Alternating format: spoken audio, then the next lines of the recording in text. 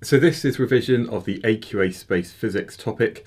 Now in the universe there are hundreds of millions of galaxies and the Milky Way is the one that we're in. And in each of these galaxies there are different stars.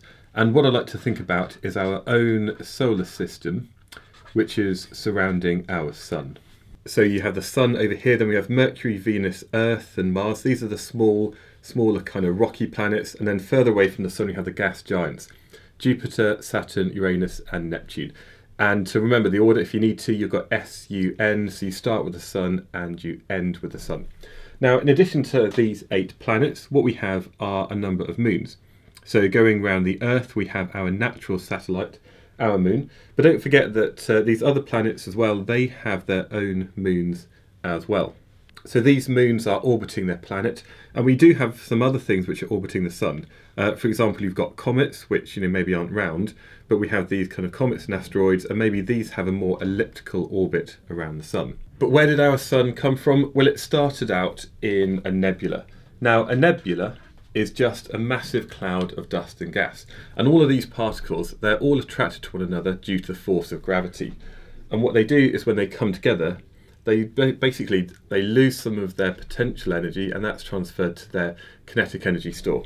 And this then forms what we call a protostar. And eventually this protostar turns into what we call a main sequence star. And this is basically where the star is in its stable phase. It's going to spend about 95% of its life there. And basically, what you have is there's an equilibrium between the fact that gravity is pulling everything in, and there's nuclear fusion happening, which is kind of pushing everything apart. And this is where the star's in equilibrium, it's not getting bigger or smaller. So that's the main sequence. And if we have a star a bit like our sun, so a sort of low to medium mass star, that's where it's going to spend most of its life. But at the end of its life, it starts to run out of fuel, the hydrogen that it's fusing into helium. And what happens then is it actually expands, it gets cooler, but it gets bigger. And then it becomes a red giant. Now, when it's a red giant, we're having fusion of heavier elements, but it gets to a point where it just runs out of fuel. And at that point, it then gets smaller and smaller and shrinks. Now, as it shrinks, uh, the surface does get hotter, and this is basically where it kind of dies effectively. And it's a very it's very very small so it's called a dwarf. And because it's um, got the actual surface has got hotter even though it's giving out less energy this is what we call a white dwarf. And eventually after billions and billions of years this white dwarf is going to cool down to make a black dwarf. So this is the stellar evolution. What happens to a star like our sun through its lifetime? But we also have bigger stars as well so again, if you have a bigger star, it's going to start in a dust cloud called a nebula.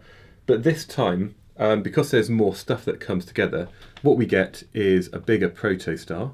And a bigger protostar is going to make an even bigger main sequence star. Now this main sequence star, because it's bigger, there's more stuff, so there's a bigger force due to gravity pulling everything in.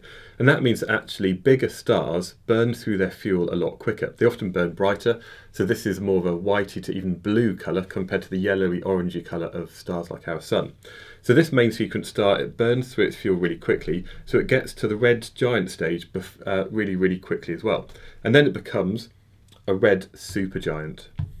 And again, this is furiously burning fuel, and at the end of it, what happens is there's no more fuel, the force of gravity pulls everything in, and the outer parts of that star bounce off the very dense core that's remaining. And then there's this massive explosion, which, you know, basically lights up a whole galaxy. This is called a supernova, and then one of two things can occur. Basically, whatever's left over, um, the kind of the, the core that's left, it's basically giving out a huge amount of energy and it's spinning really, really quickly. And effectively, all of the particles inside, because there's no fusion taking place, all of the electrons and protons have been pushed into each other to make neutrons. And it's a bit like a massive nucleus for an atom. So this one here is what we call a neutron star. But if the star is super big, then actually everything would just keep collapsing under gravity. There's no force that can actually uh, cause this to not get any smaller. And what happens then is that all of this mass ends up shrinking into effectively no volume. Pretty weird stuff, but this is called a black hole. And these are absolutely fascinating. The strength of gravity is so much that not even light can escape. Now, we can't really actually directly see a black hole necessarily.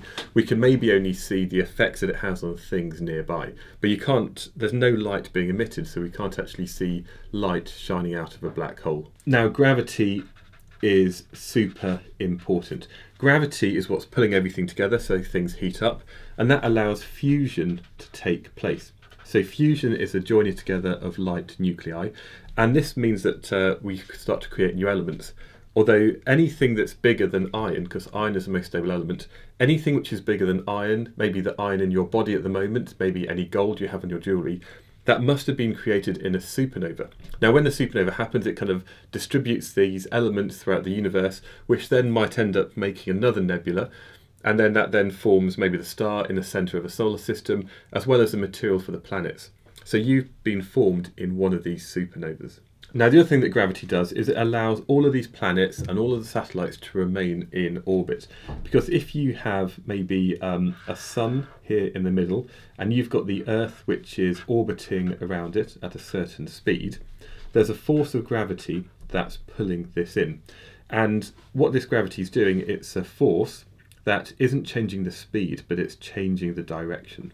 And this then means that things follow a circular path. That's supposed to be a circle there. But you can have things like this comet over here. Now this can still have a stable kind of elliptical orbit around maybe a sun over here.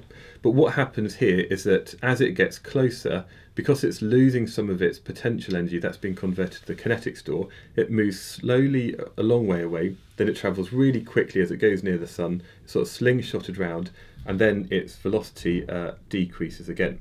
So we can still have a stable elliptical orbit for objects like comets, but this is where they're travelling slowly a long way away from the star, and they travel a lot quicker when they get closer to it. Now we've seen that stars have a lifetime, and actually what we find is that when we look at stars which are a long, long way away, um, we seem to see that actually some of the light that they emit seems to be stretched. And actually the universe is expanding. Now, if it's expanding now, that meant yesterday it was a little bit smaller and the day before it was a bit smaller. And if we go far back enough in time, we find that actually there was a point when the whole universe had no dimensions. And this is the point that we call the Big Bang. Now, the Big Bang happened about 13.8 billion years ago.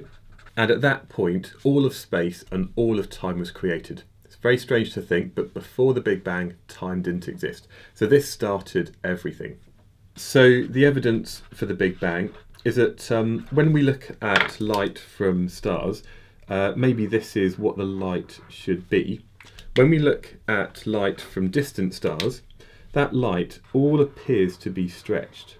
Now the wavelength has increased, and if you remember from your work on the electromagnetic spectrum, when you have a longer wavelength, we then have red light. So what we see is that things which are further away, there's something that we call redshift. And actually, when we do, uh, when we look at different galaxies which are even further away, the further away the galaxy is, the bigger the redshift of that light. And that means that everything is expanding away from everything else in the universe, which meant at some point it must have all been uh, in the same place. And there's some kind of clever physics we can do to actually work out that this is 13.8 billion years old. Now, in the last 20 years or so, we've found that not only is the universe expanding, but the rate of expansion is getting faster and faster and faster. So we don't quite know exactly why that is. And that's the really interesting thing about science. You know, we don't know all of the answers. Obviously, telescopes are getting better. We've got more people working on it. We've got things like LIGO looking at gravitational waves. Super, super exciting bits of physics. And it might be that there's dark matter or there's dark energy, which is driving this rapid inflation of the universe. But basically, um, this is just a quick bit of revision of a small amount of space physics, a super fascinating topic. So we've got the parts of the solar system, we've got evolution of low mass and high mass stars, as well as evidence for things like the Big Bang.